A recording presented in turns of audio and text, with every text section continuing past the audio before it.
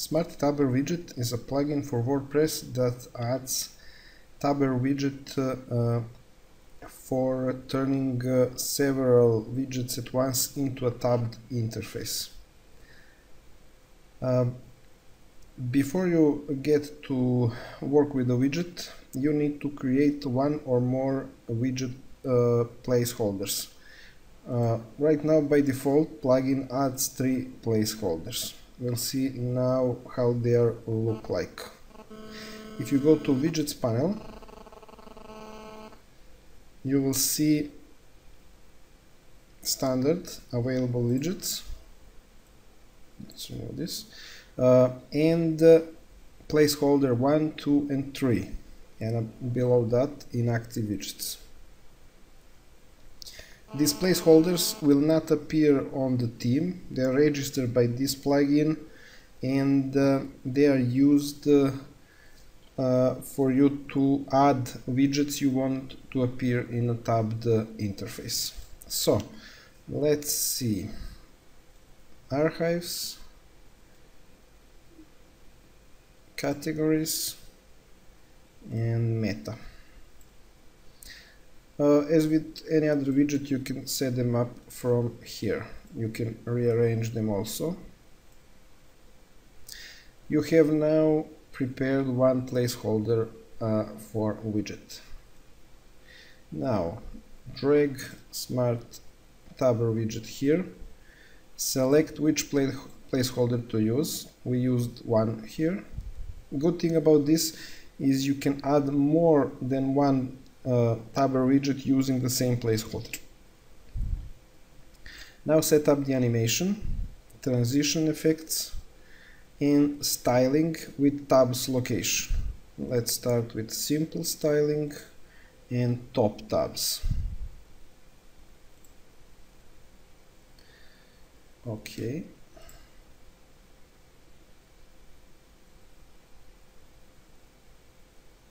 and here it is clear and simple. This is the default uh, tabber widget containing three widgets we uh, put into uh, into the placeholder one. Let's see how it looks with bottom tabs. Equally good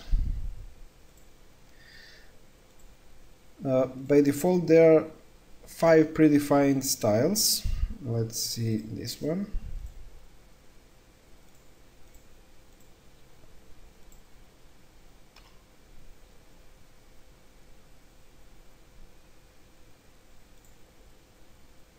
Or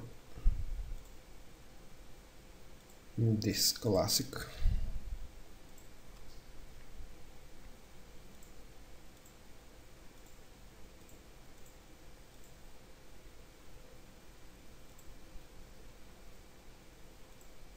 Let's add another placeholder.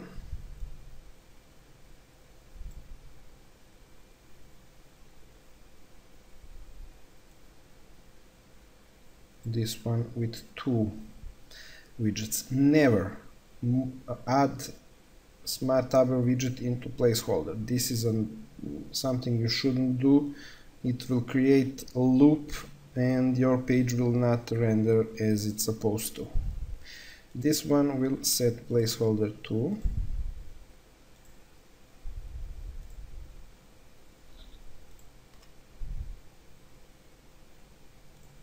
okay you have two of them.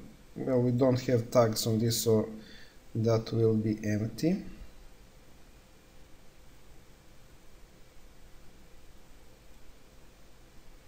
Let's use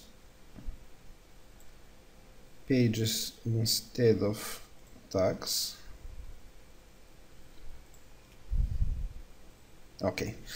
So we have two tabber widgets. There is no limit. You can add more than one to or how many you need.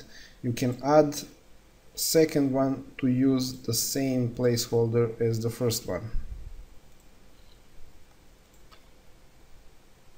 you'll get the same content twice but you can do that. This is especially useful if you want uh, to use uh, the same uh, placeholder widgets in the tabber on the different sidebars.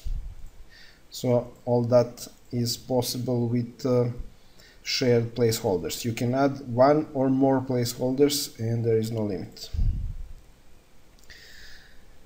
Uh, you can experiment with transitions so that's uh, pretty much a standard thing. There are many transitions available for this. Let's go back to Tabber interface. First thing, we have a bonus widget. We will see how it works a bit later. And you can uh, enable or disable loading of default styles and loading of default JavaScript tabs control code. Without this, this will not work. But if you have uh, some other way of adding uh, uh, JavaScript files, you can disable it from here. plugin depends on jQuery. Here is the style builder. By default it will be empty, but we have few styles created here. If you want to create new styles, simply go here. If you want to edit existing one, go here.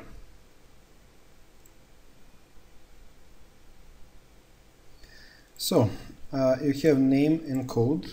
Code is used um, uh, for uh, CSS class representing this style and type uh, of one of the five default types uh, of styles.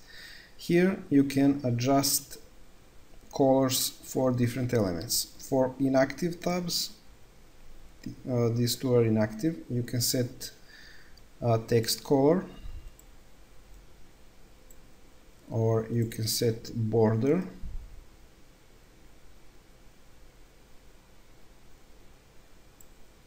Or you can set uh, background. Let's put something darker. Okay. For active tab the same background. It can be different of course. Uh, let's put a white one. This is a border. And this is text color.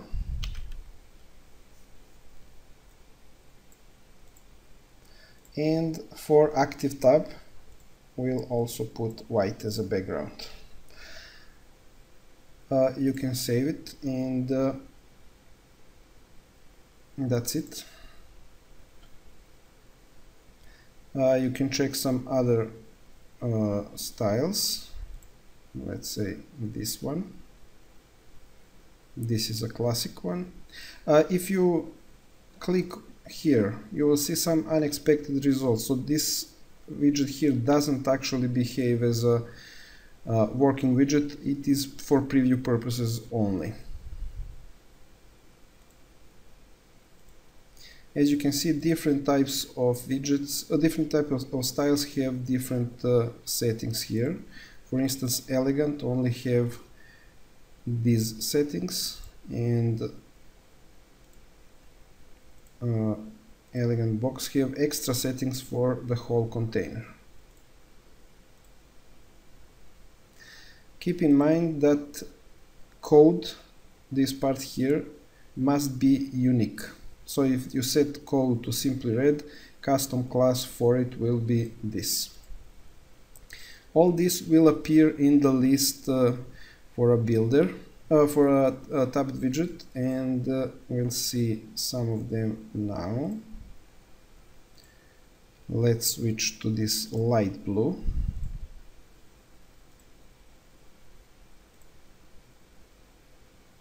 And here it is.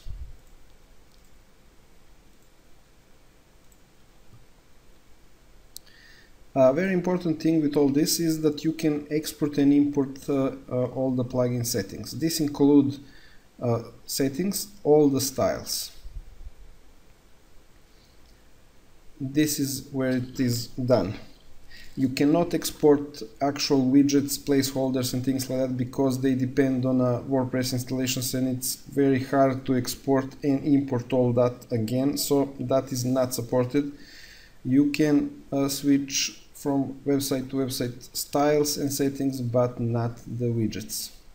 Simply click export, you will get uh, a file with uh, the extension stw and uh, do not modify this file because this is a serialized string and any change will break it uh, on import. So do not modify it and uh, importing is very easy. Select the file from here, click import and that is all.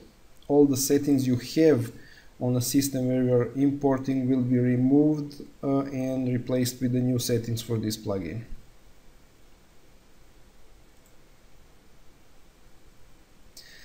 A bonus widget included is called link out.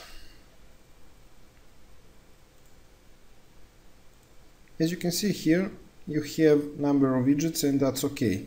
But uh, let's say you want to add a tab that uh, actually doesn't have content but it simply links uh, to another website. Here is this widget, move it here it's called my URL we'll call it smart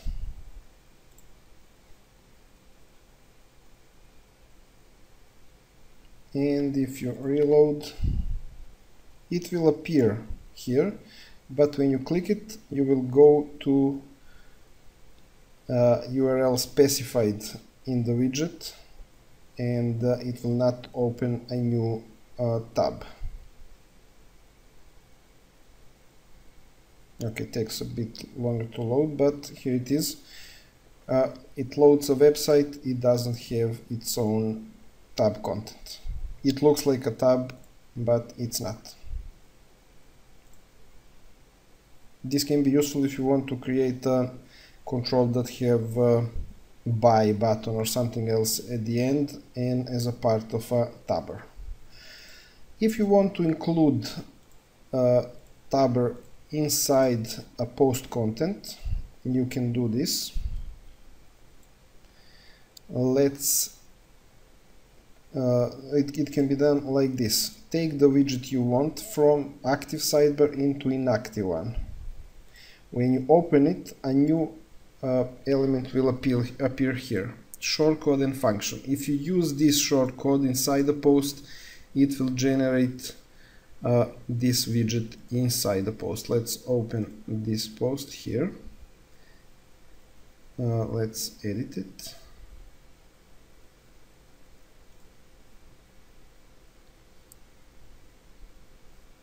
I will add it here on top.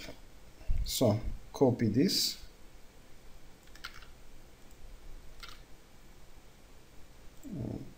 Copy something extra. So this is all you need update and view and here it is you have a tabber widget inside the post styling might uh, differ from uh, sidebar but that all depends on your team you will definitely need to do some styling to fit uh, the uh, tabber uh, to both sidebar or post uh, content for, for the team. There is no way to make a standard styling that will fit with every team. Uh, sidebar area is very complex and some of the styling rules can be destructive for uh, the widget structure. So make sure that when you uh, use this widget uh, test and create styling that uh, is maybe missing for your team or needs to be changed for your team. Uh, the same way you can use this function inside the templates, uh, it will also generate the same result as shortcode, shortcode here.